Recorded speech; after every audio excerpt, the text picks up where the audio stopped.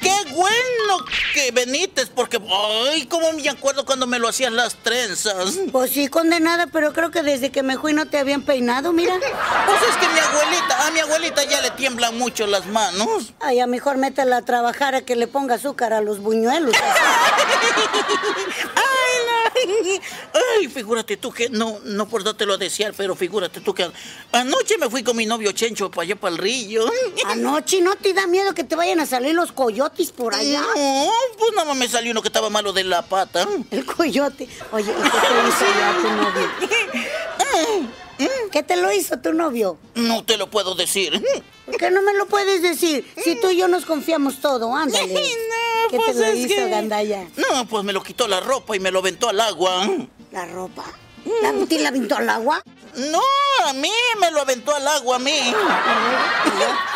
¿Qué pasó? Pues, no sé qué pasaría porque me dolió mucho y todo se me puso oscuro. Ay, cállate, oye. Oye, y hablando de eso, ¿tú sabes, Rumialda, que es un ginecólogo? Un ginecólogo. Ay, tú viviendo en la capirucha y no vas a saber lo que es un ginecólogo. No me digas. Pues, ¿qué es un ginecólogo? ¿Un ginecólogo? Pues es. ¡Ay, ya sé! ¡Ay! ¡Te panzonearon! No, no, no, que me panzonearon, no, meramente curiosidad. ¿Qué es un ginecólogo? A ver. Se me hace que ya te la tragaste. No, ¿qué es un ginecólogo? No, pues un ginecólogo, según mi abuelita. Pues es un señor que te lo cura de las enfermedades a la mujer y cuando tienes dolores aquí en la panza, pues él te cura y cuando vas a tener un chilpayate, pues también él te cura.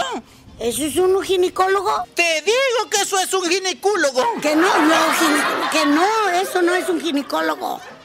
Un ginecólogo es un hombre que trabaja donde los demás se divierten. Eso es un ginecólogo.